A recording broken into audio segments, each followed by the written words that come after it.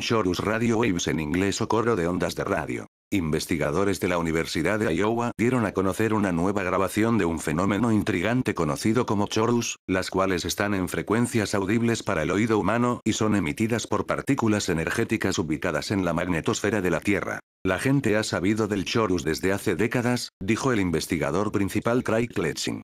Los radioreceptores están acostumbrados a recogerlo en sus equipos, y suenan parecido a los cantos de los pájaros. Usualmente es más fácil escucharlos a la mañana, lo que sumado al chirrido del sonido, a veces se refiere al efecto como coro del amanecer. ¿Pero qué es la magnetosfera? Es una región alrededor de un planeta en la que el campo magnético de este desvía la mayor parte del viento solar formando un escudo protector contra las partículas cargadas de alta energía procedentes del Sol.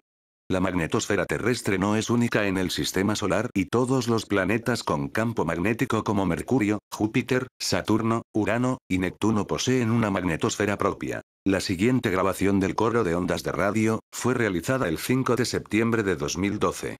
Pero antes de escuchar el coro, los invito a que se suscriban a mi canal Ciencia Televisión, para estar actualizados con los últimos avances de la ciencia.